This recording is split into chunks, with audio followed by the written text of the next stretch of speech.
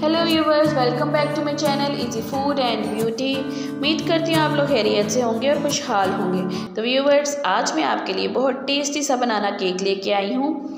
इसको बनाने के लिए एक कप मैदा लेंगे। अब मैदे में हाफ़ कप चीनी ऐड कर लेंगे।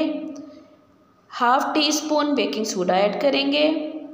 वन फोर्थ टी स्पून नमक ऐड कर लेंगे और फिर अच्छी तरह से मिक्स कर लेंगे। इन सब चीज़ों को मिक्स करने के बाद इसमें हम एक कप पानी ऐड कर लेंगे और मिक्स करेंगे, क्योंकि हमने इसका एक थिक बैटर बनाना है। और आपने चम्मच को पानी डालते हुए अच्छे से साथ साथ हिलाना है ताकि इसमें गुठलियाँ ना बन जाए। हमें बिल्कुल फाइन सा बैटर चाहिए। अगर आपको और ज़रूरत पड़े तो आप इसको थिक करने के लिए और पानी डाल सकते हैं। अब इस मिक्सचर को हम 10 मिनट के लिए रख देंगे। इसके बाद दो अदद केले लेंगे और इस तरह से कट कर लेंगे और एक पैन में डाल देंगे। अब एक पैन लेंगे, उसमें वन टीस्पून चीनी को अच्छी तरह से हम स्प्रेड कर देंगे और केले के जो टुकड़े काटे थे, उनको इस तरह से इस पर सेट कर लेंगे।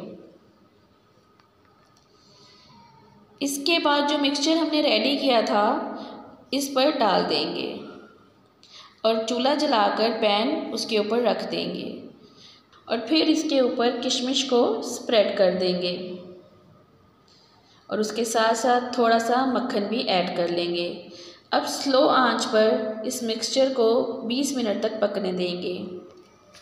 ये देखें, इसकी एक साइड रेडी हो चुकी है। अब हम इसकी साइड चेंज कर देंगे और दो से तीन मिनट के लिए कवर करके रख देंगे। अब हमारी दूसरी साइड भी रेडी हो चुकी है। अब इसको चेक करने के लिए एक छुरी लेंगे, उसकी नोक इसके अंदर लगा कर देखेंगे। अगर बैटर छुरी पर नहीं आता तो इट मीन्स के केक रेडी हो चुका है। जैसे कि अब हमारा केक रेडी हो चुका है तो अब ये सर्व करने के लिए तैयार है।